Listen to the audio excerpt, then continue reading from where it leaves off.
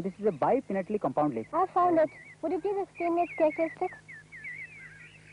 Well, The wide open space surrounding the college makes it possible to impart knowledge with a practical touch.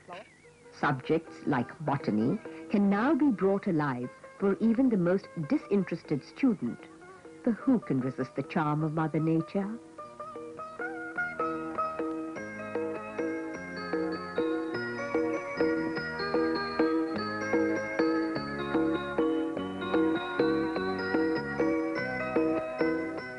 Main objective of public school education is to mold the citizens of tomorrow, helping them blossom into strong individuals.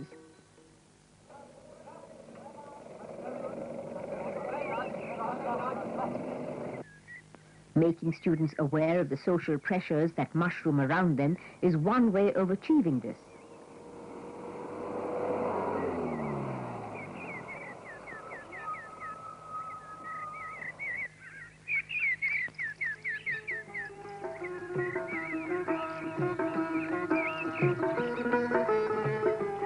Students spread the message of hygiene, cleanliness, and environment awareness in the villages surrounding the college through specially set up Seva Samitis. Awakening social awareness among the villagers has won their willingness to participate in community development projects.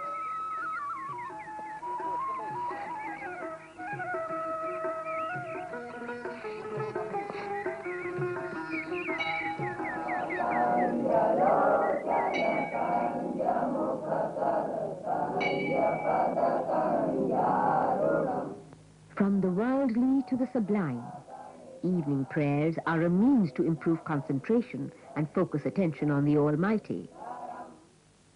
After that, it is back to books. The boarding students prepare for the next day's classes under the guidance of the housemaster. This makes for perfection, which leads to success in the examination.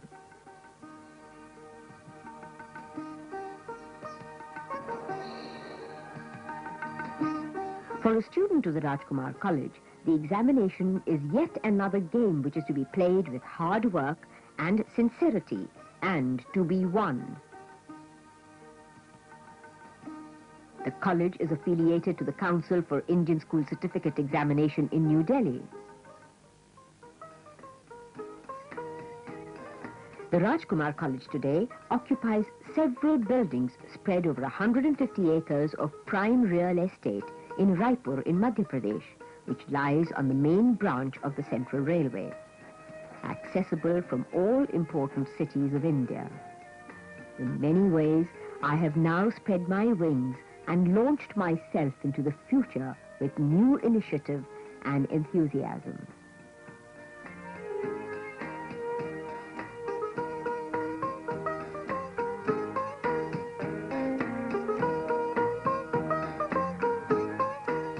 As the scope of the college has widened, so has the range of its syllabus. Today, the emphasis is not merely on classroom studies, but on inculcating a wide range of skills and expertise.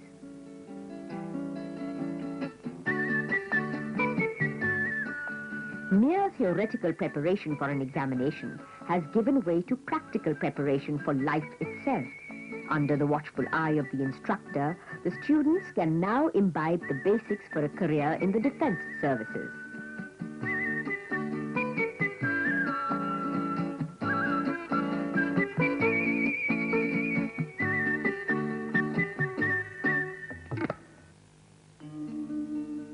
The overall policy of running the college is decided upon by a general council of life members, most of whom belong to erstwhile ruling families of Madhya Pradesh, Orissa and Bihar.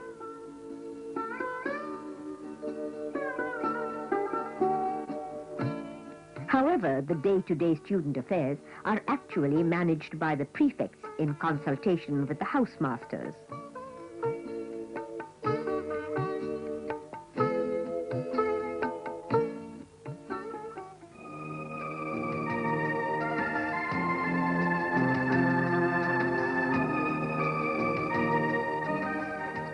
With minor ailments are looked after by student prefects, who refer the case to a doctor if necessary.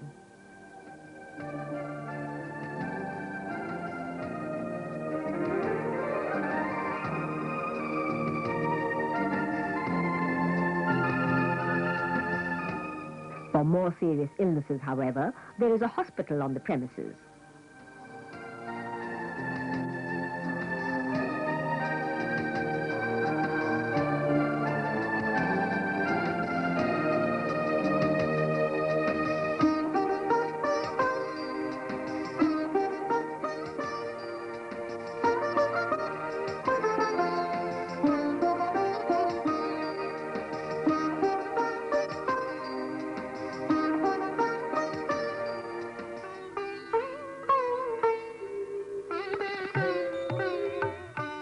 This is not to say that the teachers have abdicated their responsibility.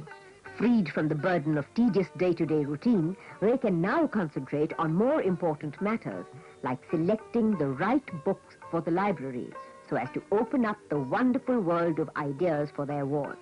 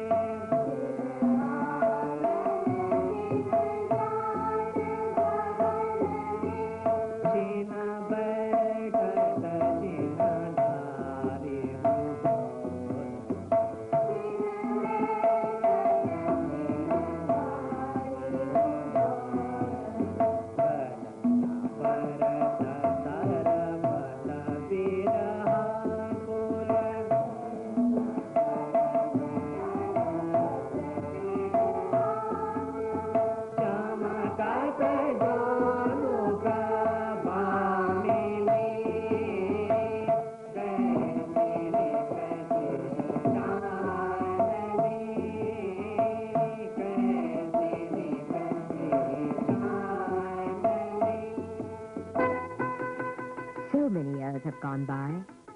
Thousands of boys and girls have passed through these portals to live a life of happiness and fulfillment.